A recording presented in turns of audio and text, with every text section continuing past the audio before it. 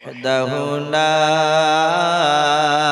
شريك له لا جد له ولا ند له ولا مثل له. ونشهد أن سيدنا وسندنا وحبيبنا وحبيب ربنا وحبيب ربنا وطبيبنا وطبيب قلوبنا ومولانا ومولانا محمدا عبده ورسوله. أعوذ بالله من الشيطان الرجيم. بسم الله الرحمن الرحيم. يا أيها الذين آمنوا استعينوا بالصبر والصلاة. إن الله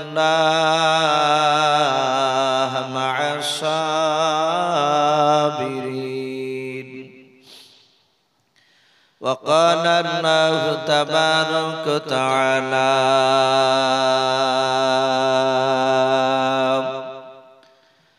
ولقد آتينا داود وسليمان علما. وقال الحمد لله الذي فضلنا على على كثير من عباده المؤمنين. وقال الله تبارك وتعالى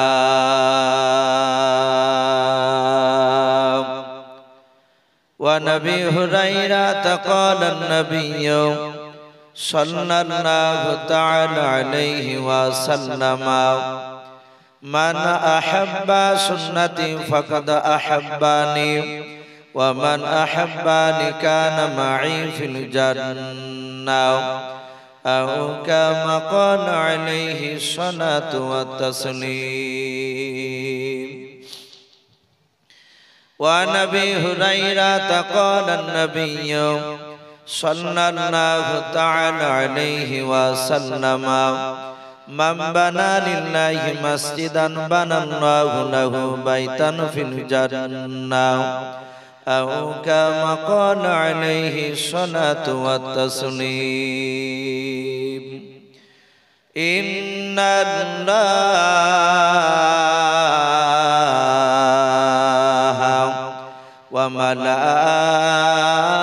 وملائكته يصلون على النبي.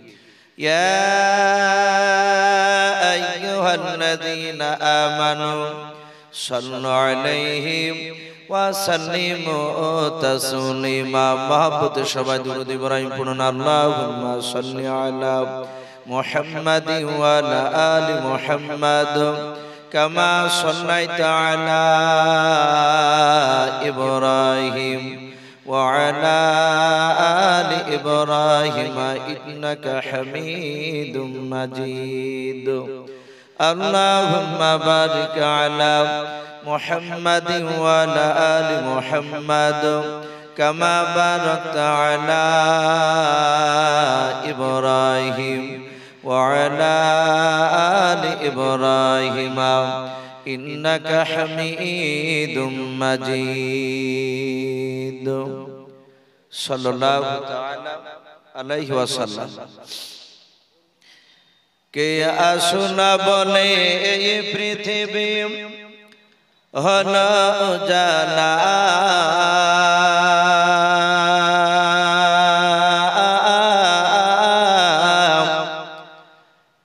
গাইল এসে সামের গান শূন্য কাফে না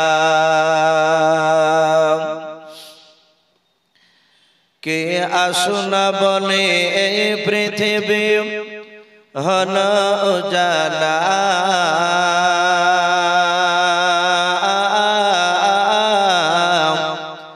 কে গাইল এসে সামের গান শূন্য কাফেলা ও হাসমে মাকি।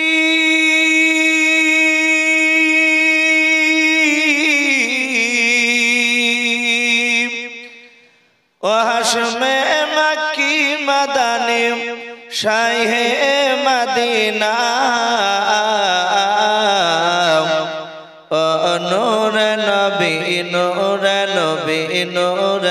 মদিনা। নূর নবী নূর নবী, নূর মদিনা। কে আসুন বলে এই পৃথিবী হল জানা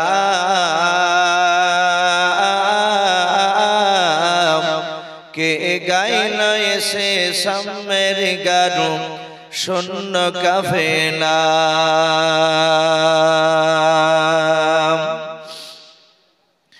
হজরতে ওমার করতে কতল নবীর দারে যা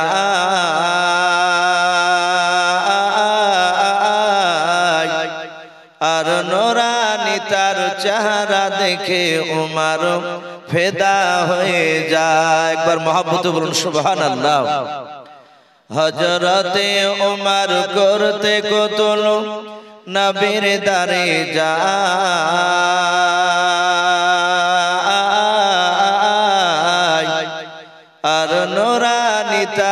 চেহারা দেখে উমার ফেদা হয়ে যায়।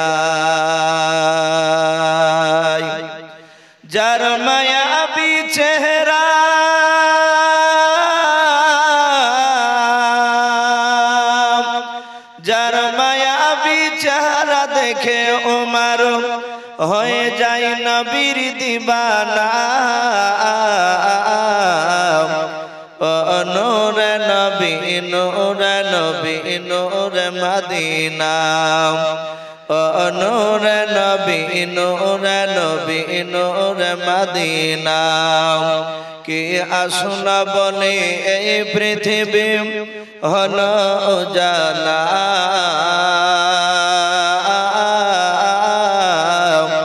কে গাইল এসে সামের গারু শূন্য কাফেলা।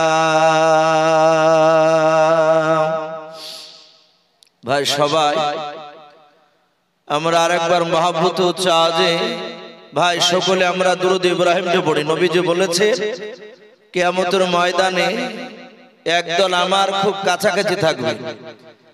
হাদিসের ভাষা এসেছে আল্লাহ রসুল সাল্লাহ তাআলা আলাইহাল্লাম সাহাবাদেরকে নিয়ে নবী এইভাবে আঙুলকে বাপজি পাশাপাশি রাখলেন। নবীজি সঙ্গে আর একটা ছোট্ট একটা কাঠের টুকরা নিয়ে বললেন এই টুকরাটা কি দুই আঙুলের ভেতরে ঢোকানো যাবে? সাহাবারা আরও সোনের আঙুলের দিকে তাকিয়ে বলেন হজুর, সেরকম তো ফাঁক নেই। একদম পাশাপাশি গায়ে গা লেগে আছে দুই আঙুল। নবী বলেন কেয়ামতের ময়দানে একদল আমার এই রকম আঙুল যেমন আঙুলে লেগে আছে, এভাবে আমার খুব কাছাকাছি থাকবে, যারা দুনিয়ার মুখে আমার উপরে বেশি বেশি দরুদ শরীফ পড়বে। ভাই, দরুদ শরীফ তো বাপজি এখন অনেক রকমের হয়েছে। আমরা একটা প্রচলন দরুদ গুলে বাপজি চালিয়ে দিই, যেগুলো আমরা আজ থেকে প্রায় মোটামুটি পঞ্চাশ বছর আগেকার মানুষ বলে। এখন আছি, এখনও বহু মানুষ ভাবছে ওই দরুদটা আমাদের সকলেই জানা আছে। ওই যে হারদাম জামান বলে যে সুর করে যেটা পড়ি আমরা অনেকে আমি আপনাদেরকে এটা নাজাজ বলছি না।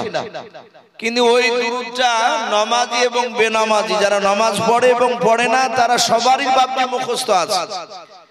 আর আমি দেখেছি যখনই এই দুরুদ ইব্রাহিম বাপজি পড়তে বলা হয়, একশোটা লোক থাকলে দশটা লোকের ঠুট লড়ে, আর নব্বই জুনার বাপজি নড়ে না। তার মানে দুরুদ ইব্রাহিম বাপজি তারা অনেকেই জানে না।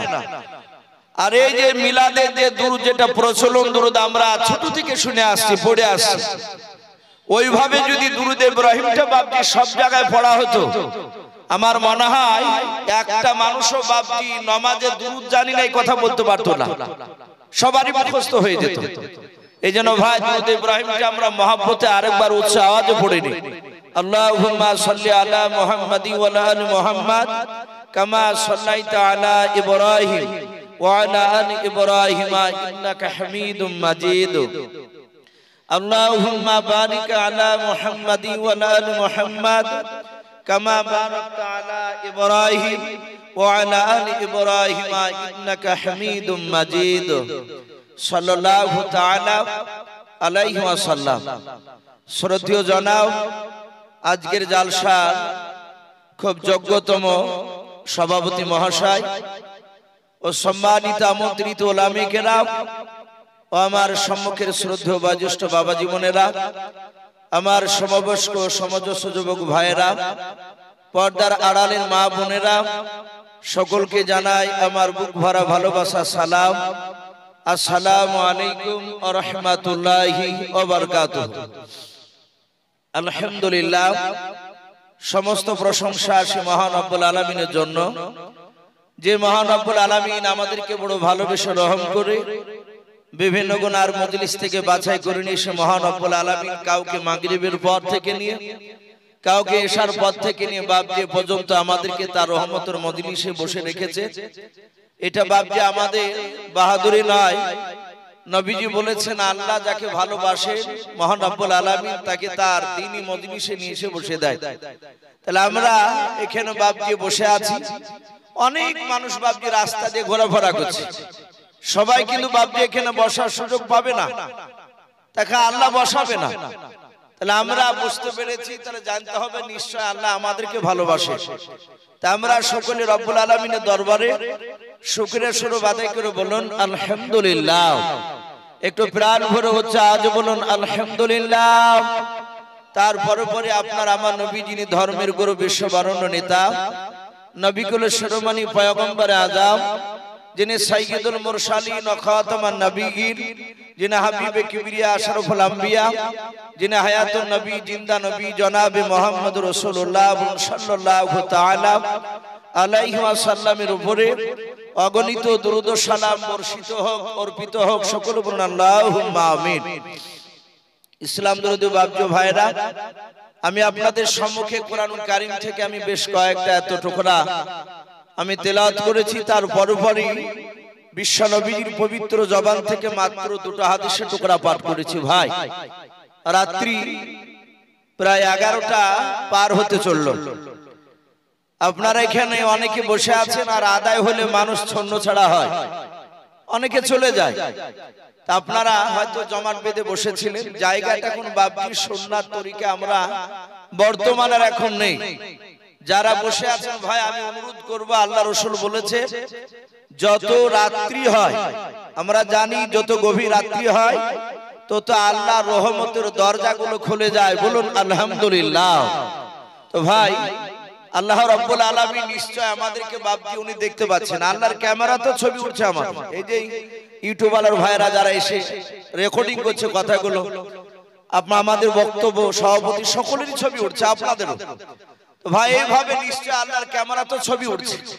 যারা একটু বসে আছেন, ভাই, আমি অনুরোধ করব, যদি নবীর মহাব্বতে যদি বসে থাকে, তাহলে একটু দয়া করে একটু সামনের দিকে যদি এগিয়ে আসতে। তাহলে একটু রসুলের সুন্নাতটা কমসে কম একটা তো জিন্দা হতো। সারা জীবনই তো ভাই ভাবছি আমরা গুণা করে আসি। একটু আসি ভাই। একটু আসি। আলহামদুলিল্লাহ। ভাই এতে লজ্জা করবে না যেভাবে আসছেন উঠে আসুন। একটু সামনের দিকে তাকে একটু জমে আমরা বসি ইনশাআল্লাহ। আল্লাহ রাব্বুল আলামিন, আমি জানি না যে আজকে জালসার মাহফিল কবুল করবেন কিনা।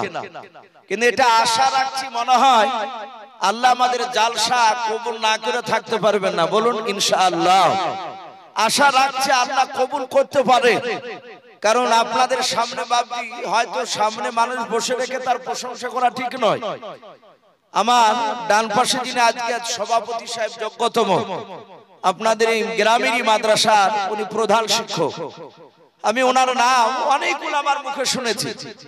ওনাকেও আমি বললাম তো বাপজি বললেন যে, বাবা, তোমার সঙ্গে বহুদিন আগে আমার এই এলাকাতে এই পাড়াতে একটা এসেছিল, তুমি জালসা হয়তো বাপজি সেভাবে হয়তো আমার নজরও ছিল না। নাম জানতাম, ওনার সঙ্গে আজকে দেখলাম। উনি যতক্ষণ আমাদের ঘরে বসেছিলেন খাওয়া দাওয়া করার সময়। তো ভাই, দেখলাম তার আঙ্গুল আর ঠোঁট সব সময়ই লড়ছে। আরও যারা ছিলেন, উনি চলে আসার পর অনেক ওলামে কেরাম তার ব্যাপারে বললেন ওনারা খুব ভালো মানুষ। আল্লাহর কাছে দোয়া করব, আল্লাহ রাব্বুল আলামিন যেন আজকে আমাদের জালসার মাহফিল যেন কবুল করে নেন। বলুন, আল্লাহুম্মা আমিন। আর একটু জোরে বলুন, আল্লাহুম্মা আমিন। তো ভাই, আমি আপনাদের কাছে সূরাতুন নামাল থেকে 19 পারা, আমি দুটো আয়াতে টুকরা আমি তেলাওয়াত করেছি। এখানে অনেক বাপজি ভাইরা রয়েছে। মাইকের আওয়াজ অনেক দূর বাপজি যাচ্ছে। মানুষ অনেক রকমের বাপজি মতের মানুষ আমরা এখানে আছি। আল্লাহ রাব্বুল আলামিন দুনিয়ার বুকে আমরা অনেক আমার মুখে শুনেছি এটা মিশকাত শরীফ হাদিসে এসেছে। এক লক্ষ চব্বিশ হাজার। আল্লাহ রাব্বুল আলামিন নবী আর রসুল দুনিয়ার মুখে পাঠিয়েছে। আমরা আবার শুনতে পাই মতান্তরে দুই লক্ষ চব্বিশ হাজার নবী রসুল বলে না? ওই টানাটানি কথাটা বলা হয়। আমরা যদি এক লক্ষ চব্বিশ হাজারটাই যদি মেনে নিই। এই নবীগুলো তো কম নয়। অনেক নবী রসুল। তারা এসেছিলেন দুনিয়াতে, তাদের একটাই লক্ষ্য ছিল পথহারা মানুষেরা তারা আল্লাহকে কীভাবে চিনবে? তাই তো নাকি বাবজি এর বাইরে আর অন্য কিছু নেই। এক একটা নবীর জামানায় এক এক রকমের বাবজি উম্মাতের ওপর আল্লাহর কিছু আইন ছিল মানার। একা এক নবী এসেছে, কিছু জিনিস বাবজি মানসুখ হয়ে গেছে, বাতিল হয়ে গেছে। ওই নবী আসার পর আগেকার নবীর কিছু জিনিস। এই পাঁচ অক্ত নামাজ আমার নবী মোহাম্মদ সাল্লাম বাদ দিয়ে। আদম আলাইহি সালাম থেকে ঈশা রুহুল্লাহ আলাইহি সালাম পর্যন্ত। এতগুলো নবীর রসুলের উপরে পাঁচ অক্ত নামাজ বাবদি একই ভাবে ফরজ ছিল না।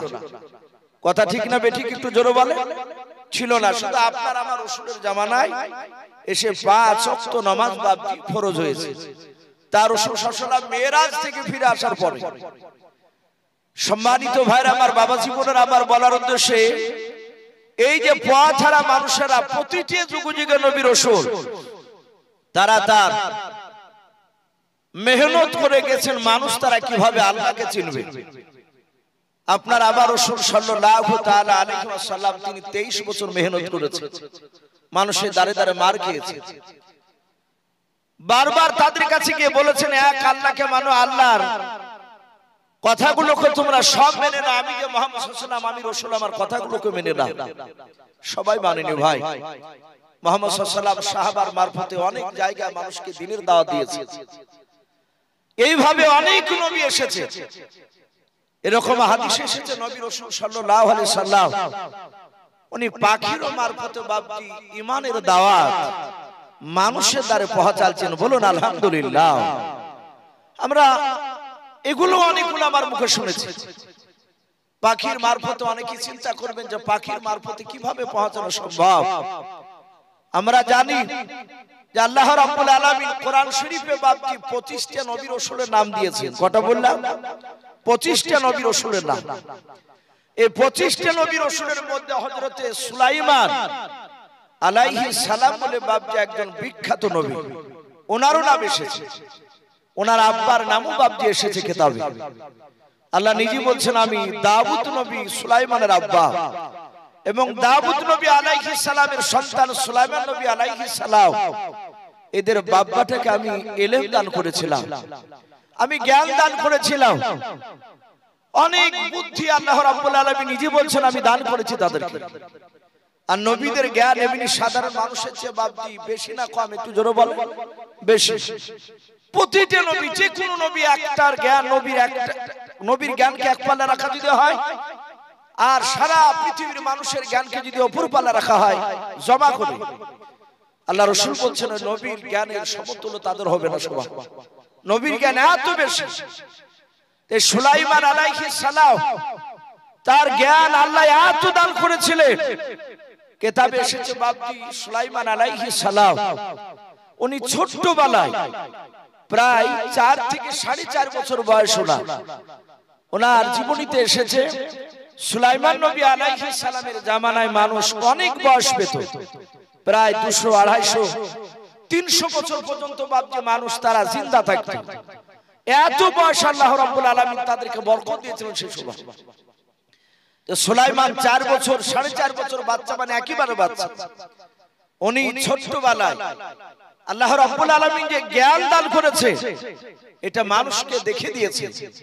সুলাইমান সালাম রাস্তা ধরে বাপজি খেলা করছিলেন। এই যেমন আপনারা বসে আছে এই পাশ দিয়ে রাস্তা দিয়ে মানুষ যাতায়াত করছে। সুলাইমান সালাম, উনি খেলা করছিলেন। ওনার বাড়ির পাশেই ছিল বাপজি পালাঙ্গা রাস্তা। সুলাইমান সালাম, তিনি দেখলেন, দুটো মেয়েতে একটা বাচ্চাকে বাপজি কোলে নিয়েছে, একটা মেয়ে কোলে নিয়েছে। ও কোলে নিয়ে তো ধরেই আছে। আর আরেকটা মেয়ে যে পাহা দিয়ে যাচ্ছিল হেঁটে, ওই মেয়েটা ওই মেয়েটার যার কোলে বাচ্চা আছে সেই বাচ্চাটার হাতখানা বাপজি ধরেছে।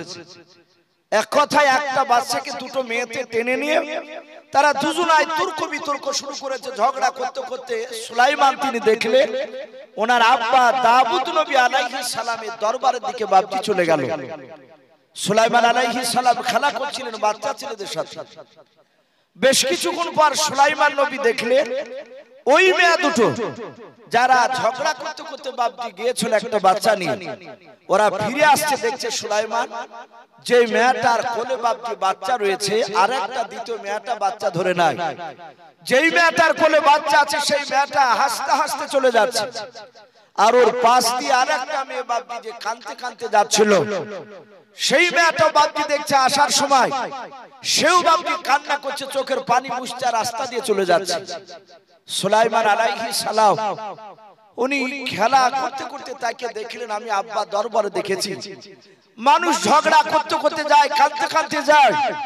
আমি আব্বাস দাবুদ নবী দরবার থেকে ফেরার কথা আমি সেই মানুষদের আর চোখে পানি দেখি নাই।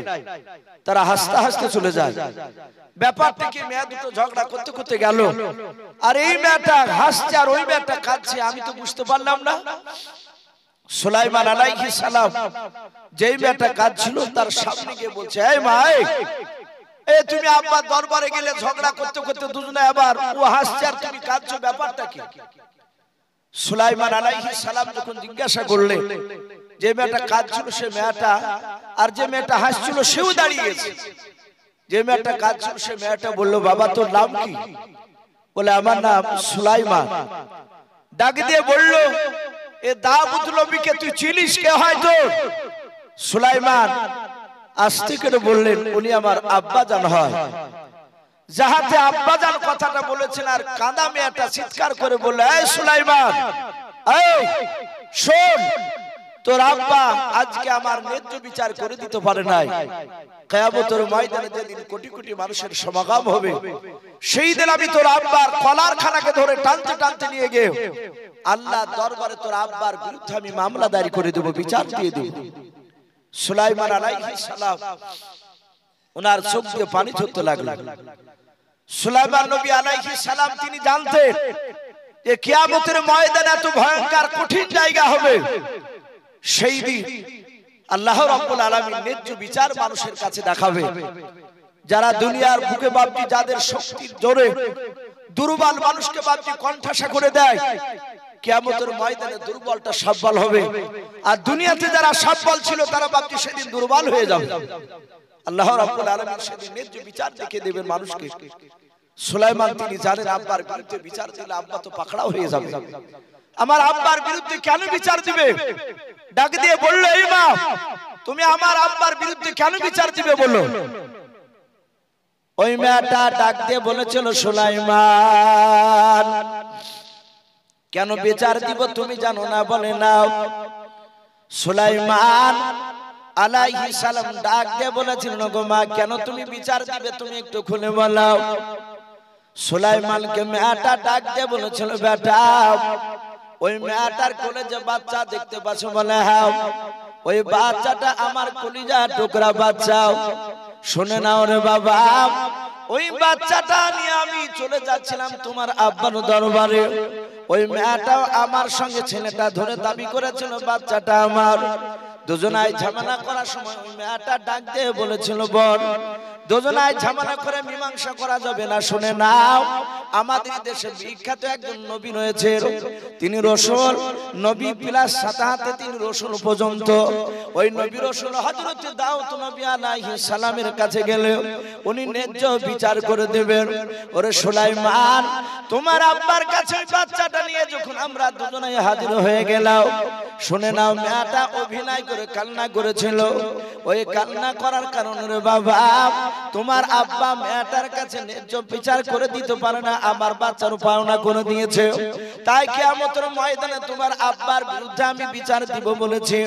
সুলাইমান মেয়েটার হাত ওখানা ধরে বলেছিল, মা, আমি তোমার হাত ওখানা জড়ি করে বলি রে মা, তুমি কিয়ামতের ময়দানে আব্বার বিরুদ্ধে বিচার দিবা নাও শুনে নাও আমি যদি আব্বাকে গিয়ে দ্বিতীয়বার যদি বলি আব্বা যান।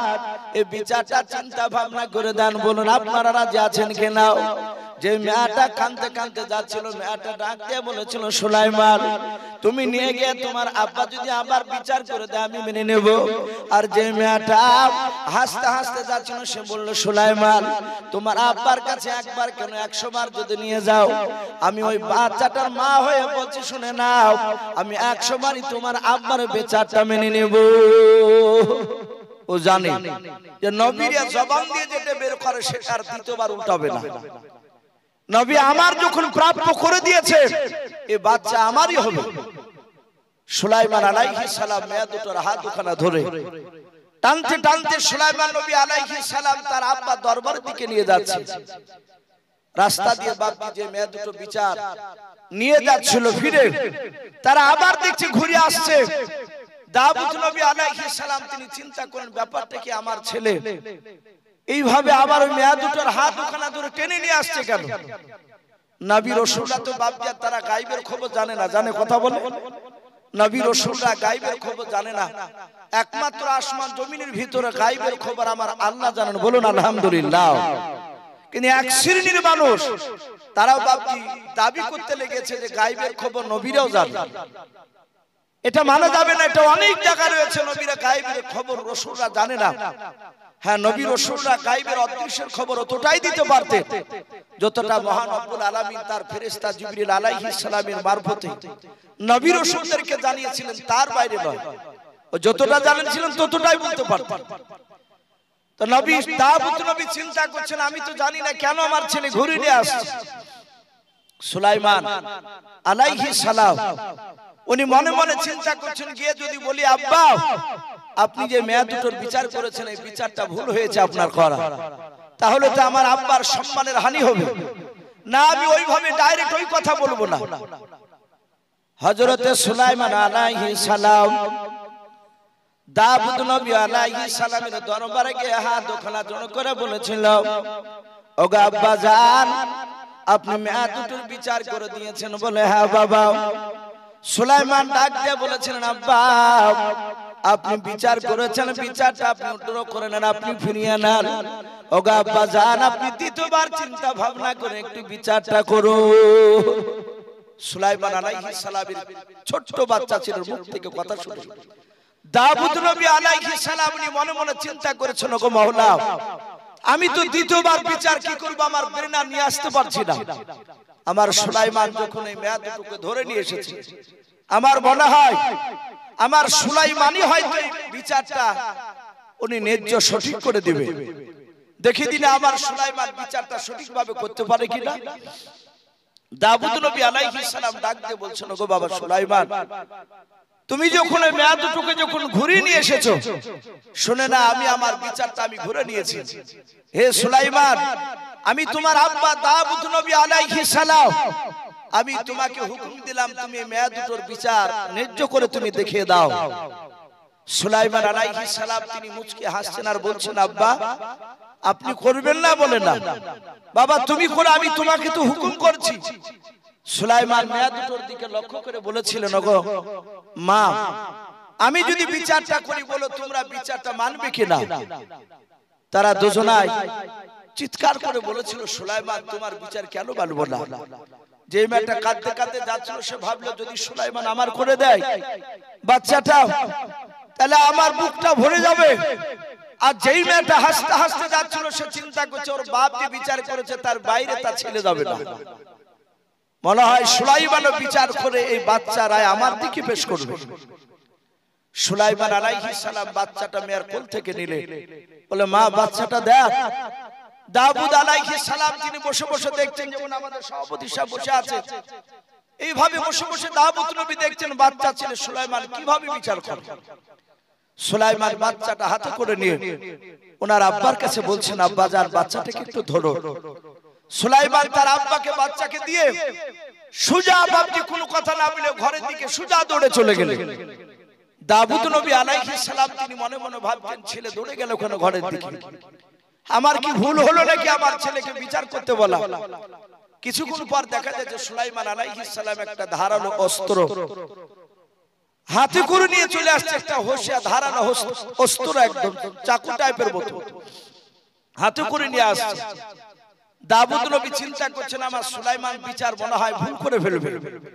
আমি বিচার করতে দিয়েছি যদি এই বাচ্চাটাকে যদি আমার সুলাইমান জবাই করে দেয় তাহলে এটা তো চরম অন্যায় হয়ে যাবে আমার ছেলে সুলাইমান হয়তো কিয়ামতের ময়দানে জান্নাত দিতে পারবে না। দাবুদ নবীও জানেন না যে আমার ছেলে সুলাইমান ইনি নবী হবেন বড় হওয়ার পরে। হযরতে সুলাইমান আলাইহিস সালাম উনি আসার পর দেখছেন তার আব্বা জান চরম চিন্তিত। টেনশনের জ্বালায় চিন্তার জ্বালায় বাপজি কপাল দিয়ে ঘাম বেরোতে শুরু হয়েছে। হজরতে সুলাইমান আলাইহিস সালাম ডাক দিয়ে বলেছিলেন আব্বা আপনি চিন্তা করবেন না বাচ্চাটা আপনি আমার হাতে দিয়ে দেন। সুলাইমান বাচ্চাটা নিজের আব্বার কাছ থেকে বাপজি নিয়ে নিলেন। হজরতে সুলাইমান বাচ্চাটা বাপজি জমিনের উপরে মাটির উপরে বাপজি একটা সুন্দর পরিষ্কার জায়গায় রেখে দিলেন।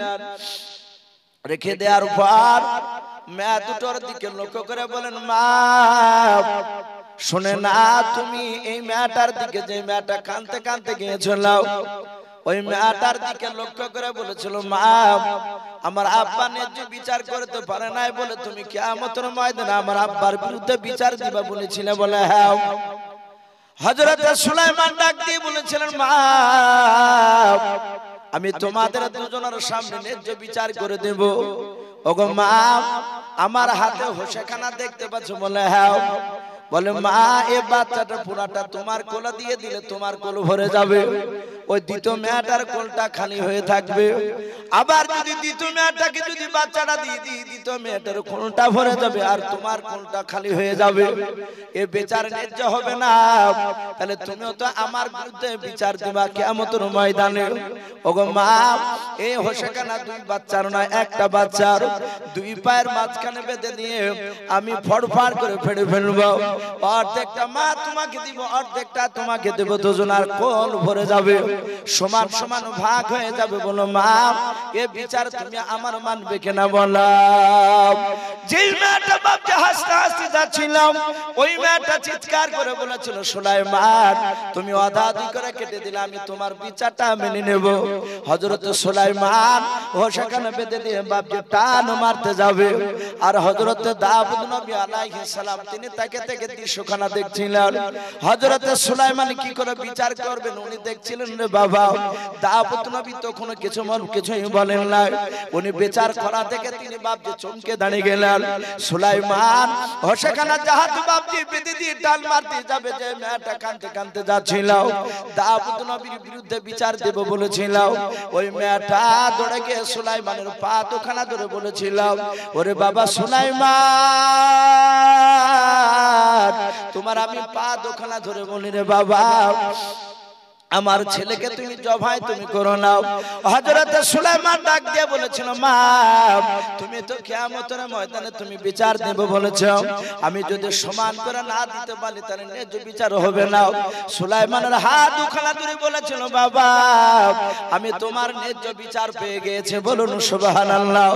সুলাইমান বলে কেন মা তুমি কেমন করে ন্যায্য বিচার পেয়েছ মালাও ডাক দিয়ে বলে বাবা আমি অর্ধেকটা নেব না শুনে নাও আর আমার আমাকে বাচ্চা গোটা দেওয়া লাগবে না। আমি এখন যদি অর্ধেকটা নিতে যাই তাহলে আমার ছেলের জনম জনকার মতো শেষ হয়ে যাবে। আর জিন্দা বেঁচে থাকবে না। এই সুলাইমান ওই মেয়েটা যে দাবি করেছে বাচ্চাটা ওর বলে হ্যাঁ তোমার আব্বা বিচার করো কি বাচ্চা দিয়েছিল শুনে নাও। আমি তোমার আব্বার বিরুদ্ধে বিচার দেব না তোমার বিরুদ্ধে বিচার দেব না। আমি ন্যায্য বিচার পেয়ে গেছি যাও ওই মেয়েটাকে পুরো বাচ্চাটা দিয়ে দাও ছেলেটা কমসে কম তো জিন্দা থাকবে বড় হার পর রাস্তা দিয়ে যখন চলাফেরা করবে হাঁটাহাঁটি করবে ওই সময় আমি ওই ছেলেটার দিকে লক্ষ্য করে আল্লাহর দিকে তাকে বলব আল্লাহ এই বাচ্চাটা আমার কলিজা টুকরা সন্তান। জাহাতি কথা বললে সুলাইমান আলাইহিস সালাম সেখানে টান মেরে ফেলে দিয়ে বাচ্চাটা ধরে যেই মেয়েটা বলল জবাই করতে হবে না আমি আর নিব না, মেয়েটাকে দিয়ে দাও। সুলাইমান ওই মেয়েটাকে যে জবাই করতে বারণ করল সেই মেয়েটার কোলে দিয়ে সুলাইমান আলাইহিস সালাম তার আব্বাকে বললেন, আব্বা, এই বাচ্চাটা প্রকৃতি বাচ্চা হচ্ছে, এই বাচ্চা। নবী সালাম তিনি বললেন, বেটা সুলাইমান, এই মেয়েটার যে বাচ্চা প্রকৃতি তা তুমি বুঝলে কি করে? বলে, আব্বা, ওই মেয়েটা বলেছিল, আমি অধাদি করে জবাই করে দিলে আমি রাজি আছি তোমার বিচার। ও জানে এই বাচ্চা আমার নয় এই বাচ্চা বাঁচলি কি আর বললি কি? আর এই মেয়েটা জানে কলিজার টুকরা বাচ্চা অর্ধেকটা নিতে গেলে ছেলে আর জিন্দা থাকবে না সুলাইমান আলাইহিস সালাম তার এই বিচক্ষণা বুদ্ধি দেখে ছোট্ট বালাকার এত মেধা আল্লাহ দিয়েছিলেন দাউদ নবী আলাইহিস সালামের হাতে বাপজি একটা আঙ্গুঠি ছিল আপনারা হয়তো অনেকে মোবাইলে হয়তো আমার একটা বক্তব্য শুনেছেন বাপজি আমি দাজ্জালের একটা ঘটনা বলেছিলাম। এইভাবে রেকর্ডিং করেছেন সব ছেলেরা। তাতে একটা জানোয়ারের বাপকে নাম করেছিলাম দাব্বাতুল আর্থ এ গোটা পৃথিবী বাপজি ভ্রমণ করবে। সেই জানোয়ারটার দুই হাতে বাপজি দুটো জিনিস থাকবে, একটা ডান হাতে থাকবে, মুসা আলাইহিস সালামে। হাতে যে আশা লাঠি ছিল, সে লাঠিটা থাকবে। আর ওই জানোয়ারটার বাপজি বাম হাতে থাকবে একটা আঙ্গুঠি। এই আঙ্গুঠিটা ছিল সুলাইমান আলাইহিস সালামের আঙ্গুঠি। সম্মানিত ভাইর আমার বাবা জীবনেরা আঙ্গুঠির অনেক কথা এসেছে, আমি বলছিলাম, এ নবী সুলাইমান আলাইহিস সালাম, ছোট্টবেলায় এইভাবে ওনার আব্বার দুটো বিচার করাকে উনি পুনরায় বিচার করে দেখে দিয়েছিলেন। আল্লাহ এত বুদ্ধি দিয়েছিলেন। আল্লাহ নিজে বলছেন, আমি তার বাপ এবং তার সন্তানকে আমি এলেম দান করেছিলাম। এই সুলাইমান আলাইহি সালাম, তিনি এত বড় বাদশা হয়েছিলেন। ইসলামের ইতিহাসে বাপটি পাওয়া যায়। গোটা পৃথিবী বাপটি শাসন করেছিল। গোটা পৃথিবীর বাপটি যারা বাদশা হয়েছিল, মাত্র টোটাল চারজন ব্যক্তি। কজন বললাম? চারজন। দুটো ছিল মুসলমান আর দুটো ছিল বাপজি বেঈমান। আমরা জানি, এখনও বাপজি গোটা পৃথিবীর দাদা আমেরিকা হতে পারেনি। আমরা অনেকে যুক্তরাষ্ট্র আমেরিকাকে দাদা বলি, ও দাদা হওয়ার চেষ্টা করছে। ও যদি পারতো, তাহলে ফিলিস্তিনকে বাপজি কপি ধুলির সঙ্গে বাপজি মিশিয়ে দিত। মারছে মুসলমান কিন্তু বাপজি এখনও তারা নত শিকার হয়নি, তারা মাথা নিচু করেনি। এই আমেরিকা বাপজি যতই দাদাগিরি কোনো পৃথিবীর এখনও হতে পারে। কিন্তু ইতিহাসে বলছে যে চারটা বাদশা গোটা পৃথিবী বাপজি তারা শাসন করেছিল। দুটো বেঈমান বাদশার দুটো ছিল ইমানদার বাদশা আমরা জানি যে দুটো বেঈমান বাদশা বাপজি গোটা পৃথিবী শাসন করেছিল। তার মধ্যে থেকে একটা বেঈমান বাদশার নাম ছিল বক্তে নাসার। আমরা অনেকে হয়তো আপনারা নাম শুনেছেন। এ গোটা পৃথিবীর বাপজি সে দাদা ছিল। দ্বিতীয় আর একটা বেঈমান বাদশা তার নাম এসেছে নমরুদ।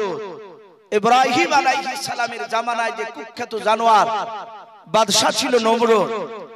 ইয়ে গোটা পৃথিবী বাপজি শাসন নাই শোষণ করেছিল। সে মানুষের উপর অত্যাচার চালিয়েছিল। এ দুটো ছিল বেঈমান বাদশা আর দুটো বাপজি ইমানদার বাদশা তার মধ্যে থেকে বাপজি একটা ইমানদার বাদশার নাম এসেছে জুলকার নাই কি নাম বললাম? জুলকার কোরআন শরীফে বাপজি তার নাম এসেছে। বেশিরভাগ উলামারা লিখেছেন উনি বাদশাহ সেকেন্দার। ওই যে বলে না যে সাত মুলুকের বাদশা ছিল বাদশাহ সেকেন্দার? এটা বেশিরভাগ উলামারা লিখেছেন যিনি জুলকার নাইন উনি বাদশাহ সেকেন্দার। এতে দ্বিমত রয়েছে আলেম বলেছে না। এই জুলকার নাইন তিন আলাদা। একজন বিখ্যাত আলেম বসে আছে। এই জুলকার নাইন আপনারা হয়তো এর শব্দের মানে হয়তো আপনারা অনেকেই জানেন না। ওনাকে এই জুলকার এই কারণে বলা হতো, ওনাকে দুই সিংওয়ালা বলা হতো। তফসিরে এসেছে ওনার মাথাতে দুই দিকে মা বোনেদের যেমন চুলের খোপা আমরা ঝুটি বলি অনেকে, চুলগুলোকে জড়ো করে যেরকম বাঁধলে যেরকম একটু মোটা হয় ওই রকম জুলকার নাইনের বাপজি দুই দিকে আপনার চুলের খোপার মতো ছিল। অনেকে বলতো যে আবের মতো দেখতে। শিং বেরিয়েছে তা মনে হতো। এই জন্য ওনাকে দুই শিংওয়ালা বলা হতো। এই জুলকার নাই আলে এত বড় বাদশা বানিয়েছিলেন। তুলো শামস আর গুরুবু সূর্য যেখান থেকে উদিত হয় এবং সূর্য যেই জায়গায় গিয়ে অস্তমিত হয়ে যায়, ডুবে যায়, সেই জায়গার কাছাকাছি কাছাকাছি এই জুলকার নাইন গিয়েছিলেন। বলুন, আলহামদুলিল্লাহ। শুধু তাই নয়, আমরা শুনেছি বলে একটা দল কিয়ামতের আগে বেরিয়ে আসবে। কথা সত্য না মিথ্যা একটু বলেন বা? কথা সত্য। এই জুলকার নাই এরা চরম অত্যাচার করেছিল সেই সময়। তারা গুহার ভিতর থেকে বেরিয়ে এসে মুসলমানের উপর আক্রমণ করত। এই জুলকার নাইন বাদশা যখন ওই এলাকায় যখন পৌঁছালছিলেন ওখানকার মুসলমানরা, ইমানদাররা জুলকার নাইনের কাছে হাত ধরে বলেছিল, বাদশা নামদার, এদের অত্যাচার থেকে আমরা বাঁচতে পারি নাই। আপনি একটু চেষ্টা করুন এদের অত্যাচার থেকে আমরা কি করে বাঁচতে পারব? হজরতে জুলকার নাইন তাদের সাথে পরামর্শ নিয়ে, তাদের ওই গুহার মুখখানা, সীসা গলে, ওই জায়গায় বাপজি উনি পাঁচিল করে দিয়েছে। কেয়ামতের আগে ওই পাঁচিল ভেঙে ওই এজুজ মাজুজরা বেরিয়ে আসবে। এখনও ভরা আছে। এই সেই জুলকার নাই দ্বিতীয় আর একটা বাদশা তার নাম বাপজি হজরতে সুলাইমান আলাইহি সালাম, বলুন আলহামদুলিল্লাহ। এত বড় বাদশাহ। কেতাবে লিখেছে সুলাইমান কত বড় বাদশাহ? আমি আপনাদেরকে বলি বাবজি সুলাইমান আলাইহিস সালাম যে সিংহাসন স্টেজের উপর বসতে স্টেজটা কত বড় ছিল? জানা আছে বাবজি আপনাদের? স্টেজটা কত বড় ছিল এই যে আজকে আমরা এই দমকল মানিক মানিকনগরে গ্রামে যে জালসার স্টেজের উপর বসে আছে স্টেজটা কত বড় আমরা সকলে দেখতে পাচ্ছি। এখানে চেয়ার রাখা হয়। চেয়ার রাখলে খুব জোর বেশি, খুব বেশি হলে পঁচিশ থেকে তিরিশটা চেয়ার আর ধরবে। পঞ্চাশটা চেয়ার তো স্টেজের উপর আটবে না, আটবে কি কথা বলো? যদি পঞ্চাশটি, যদি কোন রকম আটে, ষাটটি কিন্তু আর আটবে না। সুলাইমান যে স্টেজের উপর বসে থাকতে, কেতাবে লিখেছে বাপজি সুলাইমান, হায়াতুল হাইওয়ান বলে একটি কেতাব। আল্লামা কামাল উদ্দিন দামিরি কিংবা দিমিয়ারি রহমাতুল্লাহ আলাই উনি এত বড় বুজুর্গ আল্লাহ ওয়ালা ওলামে দেওবন্দের একজন বিখ্যাত বুজুর্গ। উনি ওই হায়াতুল হাইওয়ান কিতাবটিতে লিখেছে যে, সুলাইমান আলাইহিস সালাম যে সিংহাসনে বসতে ওই সিংহাসনের উপরে 6 লক্ষ চেয়ার আর তো বলুন, আলহামদুলিল্লাহ। কত বললাম? 6 লক্ষ চেয়ার। তিন লক্ষ বাপজি আপনার চেয়ারে থাকতো। আপনারা যেমন চেয়ার উপর বসে আছেন মানুষ নবী সুলাইমান সিংহাসনের মাঝখানে বসে থাকতে, সুলাইমানের ডান পাশে বাপজি চেয়ারে, তিন লাখ চেয়ারে আপনার আমার মতো মানুষ যারা ইমানদার মানুষ, তারা বাপজি ওই সৈন্য তিন লাখ বসে থাকতো। সুলাইমান আলাইহিস সালাম, তার বাম সাইডে বাপজি সিংহাসন, তার যে চেয়ার, তিন লক্ষ, ওই তিন লাখ চেয়ারে বাপজি বসে থাকতো। জিন বলে একটা জাতি আছে। শোনেন না জিন? এই জিন জাতির মধ্যে থেকে বাপজি ইমানদার জিন তিন লাখ। তাহলে তিন লাখ মানুষ আর তিন লাখ জিন টোটাল ছয় লক্ষ চব্বিশ ঘণ্টা নবী সুলাইমান আলাই আলাইহি সালামের দরবারে বসে থাকতেন। নবী সুলাইমান আলাইহি সালাম তিনি বসে থাকতেন।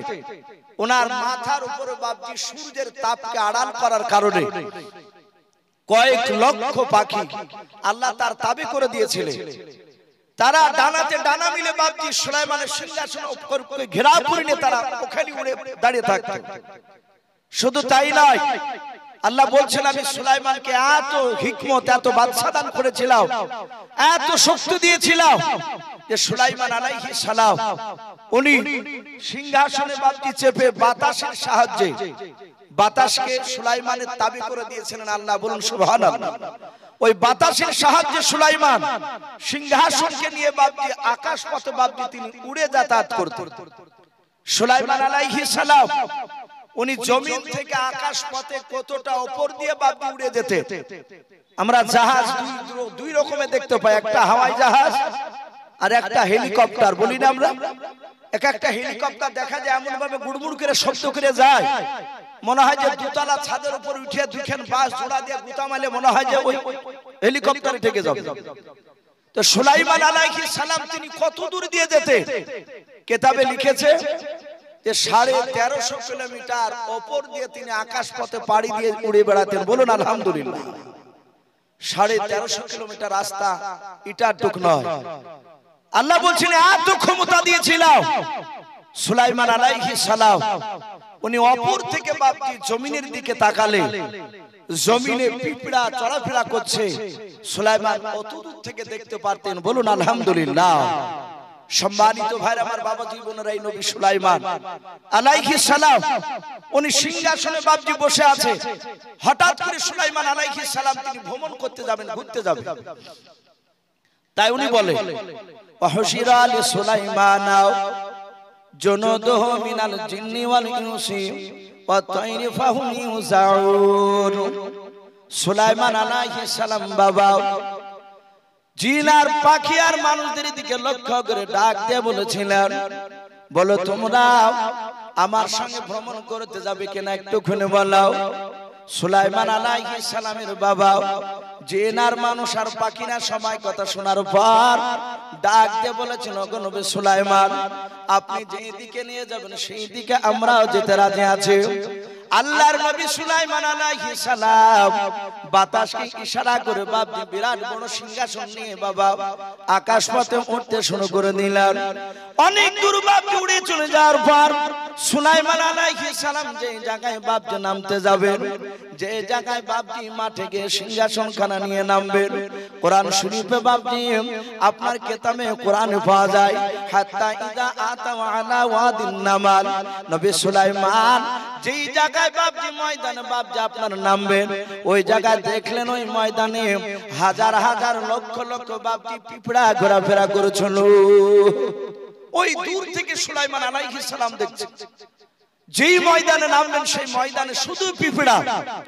হঠাৎ করে সুলাইমান সালাম দেখলে, ওই লক্ষ লক্ষ পিঁপড়ার মধ্যে থেকে একটা পিঁপড়া। হঠাৎ করে কি যেন সেই গুনগুন করে বলল, আর সব পিঁপড়া গেল। সুলাইমান আলাইহিস সালাম তিনি ওপর থেকে দেখছে, যে পিঁপড়াটা কি যেন বলল তার সাথীদেরকে, আর সব পিঁপড়া হুড় করে বাপজি তারা গর্তের ভিতর চলে গেল। সুলাইমান আলাইহিস সালাম, তিনি সিংহাসন থেকে বাপজি ওই ময়দানে নামার পরে দেখলেন কয়েক লক্ষ বাপজি পিঁপড়ার মধ্যে থেকে একটা পিঁপড়াই শুধু উপরে দাঁড়িয়ে। বাদ বাকি আর দ্বিতীয় পিঁপড়া নেই। সুলাইমান আলাইহিস সালাম কাছে যাওয়ার পর পিঁপড়াটাকে হাত দিয়ে, ডান হাত দিয়ে ধরার পরে সুলাইমান আলাইহিস সালাম বাম হাতের তালুতে বাপজি দিলেন। তালুতে দেওয়ার পরই ডাক দিয়ে সুলাইমান, পিঁপড়ার ভাষায়। সুলাইমান আলাইহিস সালাম ডাক দিয়ে বললেন, এই পিঁপড়া বল তুই তোর প্রজাদেরকে, তোর সাথীদেরকে এমন কি বললি? তারা তোর কথা শুনে তারা হুড় করে তারা গর্তে চলে গেল। পিঁপড়া সুলাইমান আলাইহিস সালামের বাপজি কথা শোনার পরে উনি আশ্চর্য হয়ে গেলেন। উনি ডাক দিয়ে বলছেন নবী সুলাইমান, আপনি আমার কথা বলতে পারেন? সুলাইমান মুচকে হাসি দিয়ে বললেন, পিঁপড়া, আমি শুধু তোর কথা নয়, আমি পৃথিবীতে যত মাকলুকাত রয়েছে সব মাকলুকাতের কথা আমি বলতে পারি, আমি বুঝতে পারি। বলুন, আলহামদুলিল্লাহ। কেতাবে এসেছে বাপজি আল্লাহ রসুল সাল্লাহ আলাইহি সাল্লাম বলেন গোটা পৃথিবীতে আদম আলাইহিস সালাম থেকে নিয়ে মুহাম্মদ সাল্লাল্লাহু পর্যন্ত যত নবী রাসূল আল্লাহ পাঠিয়েছেন সব নবী রাসূলের মধ্যে থেকে মাত্র দুটো নবী রাসূল সারা পৃথিবীর মাখলুকাতের কথা বাপজি বুঝতে পারতেন এবং বলতে পারতেন আমরা জানি আপনার আমার নবী জনাবে মোহাম্মদ রাসূলুল্লাহ সকলে বলুন সাল্লাল্লাহু তাআলা আলাইহি ওয়াসাল্লাম। এই মুহাম্মদ সাল্লাল্লাহু আলাইহি ওয়াসাল্লাম গোটা পৃথিবীর বাপজি মাখলুকাতের হজরতে মোহাম্মদ সাল্লাহ আলাম বিশ্বনবী সারা পৃথিবীর কথা বলতে পারতেন আমরা সকলেই জানি আল্লাহ রাসূল